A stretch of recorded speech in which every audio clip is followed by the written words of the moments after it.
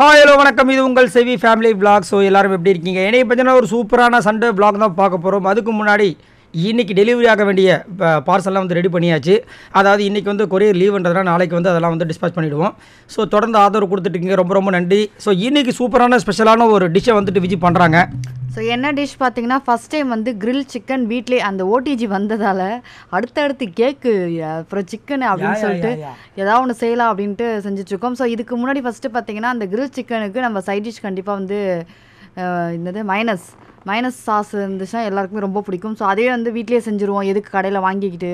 ஏன்னா நாங்கள் ஒரு வாட்டி வாங்கினோம். பட் டேஸ்ட் பார்த்தீங்கன்னா ஒரு மாதிரி இருந்துச்சு. இல்லை? ஏன்னா ப்ரிசர்வேட்டிவ்ஸ்னு சொல்லிட்டு நிறைய விஷயங்கள்லாம் கலப்பாங்க. வீட்லேயே செஞ்சோன்னா நல்லா கொஞ்சம் நல்லா இருக்கும் அதுக்கான. அதனால சரி ஓகே வீட்லயே செஞ்சிருவோம்னு சொல்லிட்டு எக் போட்டு எக்லெஸ் கிடையாது இது. எக்கு போட்டு பூண்டு. அதுக்கப்புறம் இதை பெப்பர் கூட போடுவாங்க. இப்போ தான் எனக்கு இதை பார்க்கும்போது ஞாபகத்துக்கு வருது. ஸோ பூண்டு அதுக்கப்புறம் ஒரு முட்டை அப்புறம் வந்துட்டு கொஞ்சம் உப்பு கொஞ்சம் சர்க்கரை அதுக்கப்புறம் எண்ணெய். இதுக்கப்புறம் அது வந்து எண்ணெய் மட்டும் கொஞ்சம் கொஞ்சமாக நம்ம ஊற்றி ஊற்றி ஊற்றி வந்து லெமன் லெமன் சாஸு இது அதுக்கப்புறம் எல்லாத்தையுமே போட்டு சாஸா லெமன் லெமன் ஜூஸு ஜூஸு ஒரு ஸ்பூன் அதுக்கப்புறம் இதை வந்து நீங்கள் அப்படியே ஓட்டி ஓட்டி நீங்கள் எடுத்துகிட்டே இருந்தீங்கன்னா அந்த ஒரு திக்னஸ் கிடைக்கும். அது உங்களுக்கு எந்த அளவுக்கு போதுமோ நீங்கள் அந்த அளவுக்கு ஸ்டாப் பண்ணிட வேண்டியதுதான். அதுக்கப்புறம் அதே போல் இது வந்து கொஞ்சமாக இருக்குது பசங்களுக்கு ஒரு எக்கு மட்டும் போட்டால் எப்படி எல்லாருமே சாப்பிடுவாங்க? இதை பார்க்கும்போது தயிர்மா இருக்கு? அதுக்கு தயிரே யூஸ் பண்ணிக்கலாமே? சரி அப்போ நீங்கள் இப்போ கடைசியாக சாப்பிட்டீங்கல்ல. திரும்ப இன்னும் ஒரு செட்டு இருக்குது அதுக்கு உங்களுக்கு தயிர் வச்சு கொடுக்குறேன். நீங்கள் தயிர் சாப்பிட்ருங்க செஞ்சவங்க நீங்க முதல்ல டேஸ்ட் பண்ணி பாருங்க. எனக்கு வேணாம் சொல் நான் கேட்கவே இல்லையே தயிர். இது வந்து கம்மியாக தான் இருந்துச்சு. ஒரு முட்டைக்கு வந்து நிறைய இருக்குது ஆனால் நம்ம ரெண்டு பேர் சாப்பிடலாம். தாராளமாக இங்கே வந்து நாலஞ்சு பேர் இருக்காங்களா? அதனால ஓகே சொல்லிட்டு எக்ஸ்ட்ரா வந்து இன்னொரு முட்டை போட்டு இன்னொரு ரொட்டி ஏன் நாலஞ்சு பேரு? என் தம்பியும் இருக்கான். எங்கள் அம்மாலாம் ஊருக்கு போயிருக்கிறதால அவனும் இங்கே தான் சாப்பிட்டான். ஸோ அவனுக்காகவும் சேர்த்து செய்ய வேண்டியதாக இருக்குது ஏன்னா அவன்லாம் வந்து மைனஸில் அவங்க தம்பி வந்ததுனால தான் கிரில் சிக்கனே இன்னைக்கு வந்திருக்கு. அப்படிலாம் கிடையாது. கிரில் சிக்கன் நான் முதல்ல யோசிச்சது தான் இவன் அவன் எப்படி சாப்பிடுவானா சிக்கனுக்கு மைனஸ் தொட மாட்டான். மைனஸ்க்காக சிக்கனை சாப்பிடுவான். அந்த மாதிரி ஆளு. அதுக்கப்புறம் வந்து இந்த சிக்கனுக்கு மசாலா ரெடி பண்ணிட்டு மயோனஸ் ரெடி பண்ணும்போதே டவுட் வந்துச்சு. நான் அவனுக்காகவா?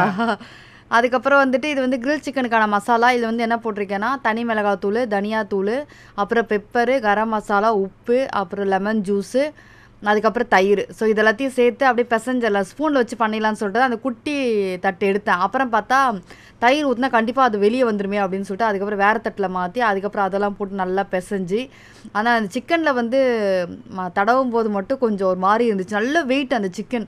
எவ்வளோ அது? எத்தனை கிலோ? அது டெய்லியும் சிக்கன் வந்து ஒழுங்காக வாக்கிங் போகாமல் குண்டாயிடுச்சு. அது வந்து ஒழுங்கா வாக்கிங் போயிருந்தா கரெக்டாக இருந்திருக்கும். நான் வந்து கொஞ்சம் சின்னதாகவே வாங்கிட்டு வா. ஏன்னா தனியாக சிக்கன் குழம்பும் செஞ்சிடலாம். அதுக்கப்புறம் இல்லை ஆக்சுவலாக சின்னது தான் வாங்க போனேன். சின்னது வாங்கலான்னு போகும்போது அவங்க சின்னதில் பிடிக்கணும்னு போனாங்களாம் தப்பிச்சு ஓடிச்சான் பெருசானதுக்கப்புறம் மாட்டிருக்கு. கோழி. சின்னதை பிடிக்க போனாங்க. அது அது. பெருசாயிருக்கு. அது பெருசானதுக்கப்புறம் பிடிச்சது. Okay okay. ஸோ அதுக்கப்புறம் இந்த மசாலாவில் தயிரும் சேர்த்து ஃபுல்லாக மேக்னெட் பண்ணி இந்த grill சிக்கன் நம்ம க- தனித்தனியா இருக்கா அப்படின்னா ஒரு half an hour to one hour ஊற வச்சா போதும். இது முழு சிக்கனாக இருக்கிறதால கண்டிப்பாக ஒரு ஒன்றரை மணி நேரத்துக்கிட்ட ஊற வச்சா தான் நல்லா மசாலா வந்து இறங்கும். இந்த வீடியோ எடுக்கும்போது எனக்கு ரொம்ப உங்ககிட்ட ஒரு விஷயம் ரொம்ப பிடிச்சிருக்கு. என்னன்னா அந்த ஃப்ரேமுக்குள்ளே பாருங்க எதில் நாங்கள் எடுக்கிறோன்றது முதற்கொண்டு அந்த காலையும் காமிச்சிருக்கா. அந்த ஸ்டாண்டோட கால் ரொம்ப முக்கியம். இல்லை அது வந்து இப்படி நான் இப்படி மேலே கொஞ்சம் தூக்குனா டக்குனு கீழே இறங்கிடுது மொபைலு அந்த இது வர நட்டு வர லூஸாக இருந்துச்சு. அதனால தான் இப்படி இருந்தது. ஸோ ஃபுல்லாகவே நல்லா இது போல் பிசைஞ்சிட்டு.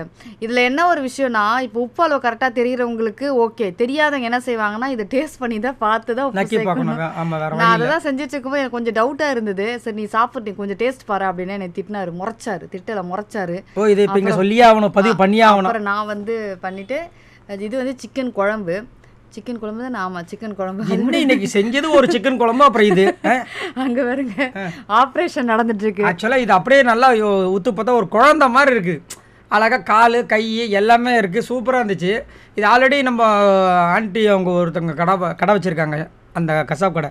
அங்கே தான் நாங்கள் வாங்கிட்டு வந்தோம். அவங்களே ஆல்ரெடி கோடு போட்டாங்க பட் இவங்க வந்து இந்த கோடு பத்தாது. நானும் கோடு போடுன்னு சொல்லிட்டு அங்கே வந்து கோடு போட்டு வரி குதிரை மாதிரி மாற்றிட்டாங்க ஏன்னா அப்போ தான் வந்து மசாலாலாம் உள்ளே வந்து அப்படியே சூப்பர் அப்படியே ஜூஸி மாதிரி இறங்கி நம்ம சாப்பிடும்போது வந்துட்டு எல்லா பக்கமும் வந்து மசாலாவாக இருக்கும் மணக்கும் இனிக்கும் அப்படின்ட்டு.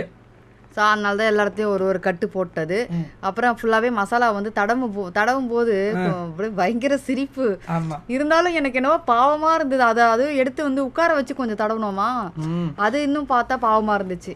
நான் என்ன செஞ்சேன் இந்த மசாலா வந்து இஞ்சி பூண்டு பேஸ்ட் போட மறந்துட்டேன். ஸோ அதனால் திரும்ப ஒரு வாட்டி சேர்த்து அதையுமே நல்லா பிசைஞ்சிட்டு அதுக்கப்புறம் வந்துட்டு தடவ ஆரம்பிச்சிட்டோம். தடவை தடவை வந்து இவங்க வீடியோ எடுத்துகிட்டு இருந்தாங்க. யாதவுக்குலாம் பயங்கர சிரிப்பு வேறு. அது வேறு எப்போ வேறு ரெடி ஆகும் அப்படின்னு வேறு சொன்னால் அது வந்து குழந்தை குழந்தையே கூப்பிட்டு இருந்தான். எங்கே அந்த குழந்தை அப்படின்னா அதுக்கப்புறம் குழந்தைய கொண்டு போய் அடுப்பில் வச்சிட்டிங்களா அப்படின்னா டே அப்படி சொல்லாதடா அது வந்து ஒரு மாதிரி இருக்குது அப்படின்னு சொல்லிட்டு இருந்தேன். அதுக்கப்புறம் ஃபுல்லாகவே எடுத்து தடவ ஆரம்பிச்சிட்டோம். இது வந்து ஃப்ரெஷ்ஷாக நல்லா இருந்துச்சு இந்த சிக்கன் ஆன்ட்டி கொடுத்தது பார்த்திங்கன்னா நல்ல ஃப்ளஷ் உள்ளதாக கொடுத்துருக்காங்க. நல்ல சதையாக இருந்தது. அந்த ஒரு கால் சைடு மட்டும் எடுத்து சாப்பிட்டாலே வந்துட்டு ரொம்ப நேரம் சாப்பிட்ற மாதிரி இருந்துச்சு. இது பாருங்க. தடவும் போது என்ன சொன்னோம் சொன்னீங்க. என்ன மஞ்சள் தேய்ச்சி கொடுப்பாங்க மஞ்சள் தேய்ச்சி குழந்தை குளி குளிப்பாட்டுற மாதிரி இருக்குது. பாருங்க காலை பிடிச்சி இந்த பக்கம். அதாவது குழந்தைய வந்து இந்த மாதிரி தான் வந்து குளிப்பாட்டுவாங்க. அழகாக காலில் வந்துட்டு படுக்க வச்சுட்டு குழந்தை இந்த பக்கம் ஒரு புரட்டு அந்த பக்கம் ஒரு புரட்டு. அதுவும் அந்த வயசானவங்க பார்த்தீங்கன்னா பயங்கரமாக வந்துட்டு குழந்தைய வந்துட்டு ஒரு வழி பண்ணிடுவாங்க.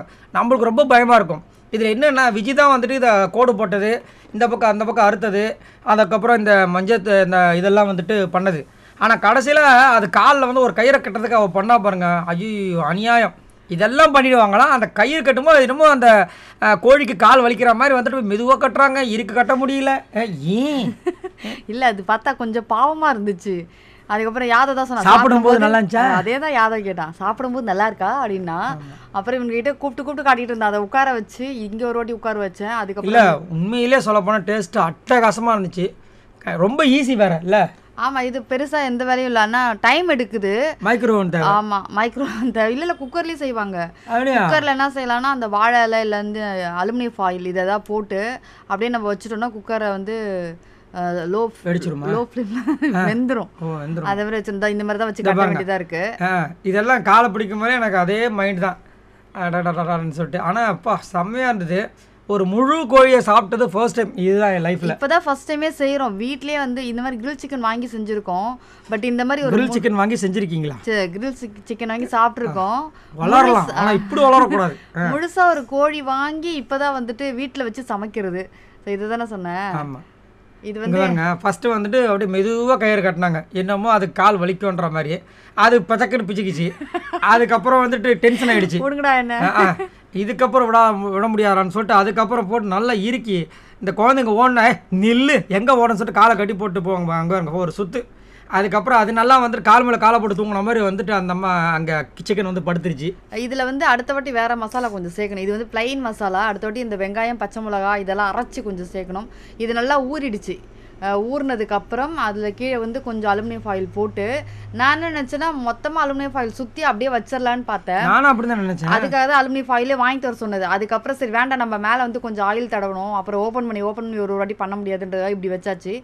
இப்படி வச்சுட்டு நாங்கள் எங்களுடைய பழைய ஓவன் பார்த்தீங்கன்னா அது சுத்திரம் அது கம்பி வேற லெவலு கம்பிலலாம் சொருகி அப்படியே சுத்துற மாதிரிலாம் இருக்கும். உள்ள ரவுண்டாக சுற்றிக்கிட்டே இருக்கும். த்ரீ சிக்ஸ்டி டிகிரியில் வந்துட்டே இருக்கும். வெப்பம் செமையாக இருக்கும். அது ரெடி பண்ணணும். அதுவும் சுத்தும். இந்த கம்பி வச்சா அதுவும் சுத்தும் அதுவும் ரோல் ஆகுற மாதிரி சுத்தும் அந்த மாதிரி ஆப்ஷன் இருக்கு அது ரிப்பேர்ல இருக்கு அது இன்னும் சரி பண்ணாம வச்சுட்டு இருக்கோம் ஸோ இது பார்த்தீங்கன்னா ஃபுல் அண்ட் ஃபுல் நாலா பக்கமும் ரெண்டு பக்கம் ஹீட் வரும். கீழே மேலே அதுக்கு தான் கம்பி அந்த மாதிரி கம்பி டைப் தான் இது ஓடிஜினா ஸோ இதை வச்சுட்டு திரும்ப ஒரு இல்லை இதுலேயும் வந்துட்டு வரும். என்ன பண்ணோம் உள்ளே வந்து கொஞ்சம் கிருஷ்ணாவில் ஊற்றி கொளுத்தி விட்டுருந்தோம் மொத்தமாக வரும். அடுத்த வாட்டி செய்கிறேன். ஸோ இது எப்படி ஃபர்ஸ்ட் வச்சேன்னா ஒரு ஒன் நைன்டி அடுத்த வாட்டி டிகிரியில். ஒன் நைன்ட்டி டிகிரியில் வந்து ஃபஸ்ட்டு ஃபிஃப்டி மினிட்ஸ் வச்சுட்டேன். ஃபிஃப்டி மினிட்ஸ் வச்சுட்டு அதுக்கப்புறம் பார்த்தீங்கன்னா திரும்ப வந்துட்டு two twenty degree two hundred டிகிரியா two twenty டிகிரியில் பார்த்தீங்கன்னா ஒரு தேர்ட்டி மினிட்ஸ் வச்சேன். அதுக்கப்புறம் பார்த்தீங்கன்னா திரும்ப வந்து ஒரு ஒன் நைன்ட்டி டிகிரியில் ஆஃப் அன் ஹவர் வச்சேன். இவ்வளோ நேரம் ஆச்சு. நாங்கள் சாப்பிட்றதுக்கே வந்து ரொம்ப லேட் ஆயிடுச்சு. ஆனால் சூப்பராக வெந்து வந்துருந்துச்சு. ஒரு மாதத்துக்கு முன்னாடி உள்ளே வச்சா ரெண்டாவது மாதம் தான் சாப்பிடவே ஆரம்பித்தோம் உள்ளே பாருங்க அப்படியே வந்துட்டு கீழே அந்த கொதிக்குது. எண்ணெயில் கொதிக்குது. அந்த பக்கம் வேற ஓவர் ஹீட் ஆகிட்டு அந்த இன்னொரு ஒரு விஷயம் கவனிச்சியா? வைக்கும் போது நேரம் இருந்துச்சு. முடிஞ்சதுக்கப்புறம் கோச்சிட்டு அந்த பக்கம் திரும்பி படுத்துக்குச்சு. இப்போ அதை தானே சொன்னேன். திருப்பி திருப்பி வச்சோன்னே. அப்படியா? நான் கூட கோழி தான் கோச்சிட்டு திரும்பி வச்சு நினச்சேன். அதுவா கோச்சுக்கும் அப்படியே. அதுக்கப்புறம் இதுக்கு தான் அந்த இது வாங்கணும் நம்ம. எது வாங்கணும்? அடுத்தது போட்டா பிட்டு. சூடா இருக்கு. ஏ தூக்க முடியல. ரொம்ப கஷ்டமா இருந்துச்சு. அதுக்கு எக்ஸசைஸ் பண்ண டெய்லியும். அந்த அந்த. தூக்கம் இல்லையா? அந்த வெயிட் அதுக்காக இல்ல ஹீட்டுக்காக சொல்றேன். இப்படி தூக்கவே கஷ்டமா இருந்துச்சு. வெயிட் வேற. இல்லை இல்லை உண்மைதான். நீ அங்கே அப்போ எடுக்கும்போது கஷ்டமாச்சா அந்த பக்கம் பாத்தீங்கன்னா ரொம்ப அந்த சைடுல இருக்கிற அந்த மசாலா எல்லாம் தீஞ்சிருச்சு. இந்த பக்கம். கோச்சிக்கிட்டு இருக்கு திரும்பு. சே சிக்கன் திரும்புமா? என்னம்மா நீ? திரும்பவே மாட்டியே சிக்கன் கோச்சிக்கிட்டு அந்த திரும்பிட்டு இருக்குதுடா. அதுக்கப்புறம் வந்து எடுத்து கட் பண்ணி இது வந்து கட் பண்ணவே தேவையில்ல. நான் நினச்சேன் அப்படி இப்படி கட் பண்ணிகிட்டே இருந்தேன்னா அதுக்கப்புறம் பிடிச்சி இழுத்து அதுவாக வந்துருச்சு. நல்லா வெந்து வந்துச்சு. ஸோ இது மைனஸ் வந்து பார்த்தீங்கன்னா நம்ம செஞ்சதுக்கப்புறம் இன்னும் நல்லாவே திக்காயிடுச்சு அந்த கால் கட்டை கொஞ்சம் கழட்டி ஆமாம் அதுக்கப்புறம் வந்துட்டு ஃபர்ஸ்ட் என் தம்பி அதாவது அந்த கல்யாணத்துக்கு அப்புறமா ஜென்ஸுக்கெலாம் வந்து கால் கட்டு போட்டால் காலி அப்படின்றாங்க பார்த்தியா அதுதான் இது. கால் கட்டு போட்டால் காலி ஆயிடுச்சு. காலி ஆனதுக்கு அப்புறம் தான் நம்ம கால் கெட்டே போட்டோம். கால் கெட்டு இல்லை கால் கட்டு. கட்டு போட்டோம். அது சூப்பராக இருந்துச்சா? டேஸ்ட் வந்து நல்லா இருந்தது. விஜய் இந்த கோழி எனக்கு பிடிக்கல விஜய். இது தம் அடிக்குதுன்னு நினைக்கிற மாதிரி புகை விட்டுட்டு இருக்குது. ஓ இதுலேருந்து வர புகையா? சரி சரி. காலை காலை நல்லா இன்னும் மசாலாலாம் உள்ளே வந்து இன்னும் கொஞ்சம் இல்லை இல்லை. சூப்பராக இருந்துச்சு. பார்க்கறதுக்கு அப்படி இருக்கு. உண்மையிலே வேற லெவல் தரமான செய்கை. செம்மையாக இருந்துச்சு. டேஸ்ட்டு சூப்பராக இருந்தது. அதுவும் இந்த மயனஸ்க்கு வந்து அட்டகாசமாக இருந்துச்சு. எனக்கு ரொம்ப பிடிச்சிருந்துச்சு. நான் வந்து அனாவசியமாக வச்சு கட் பண்ணிக்கிட்டு இருக்கேன். கட் பண்ணவே தேவையில்லை. இப்படி பிடிச்சி இழுத்தாலே வந்து ஃபாஸ்ட்டாக வந்துருச்சு. ஆக்சுவலாக அதுக்கிட்ட கேட்டிருந்தா அதே கொடுத்துருக்கும். இந்தா என் கால் அப்படின்ட்டு. நீ தான் ரொம்ப அவசரப்பட்ட. இந்த எடுத்துட்டு போ. ஒரு காலை தானம் நீ பண்ணி பண்ணுறத பார்த்தா எனக்கே பாவமாக இருக்கு. இந்த எடுத்துட்டு போ.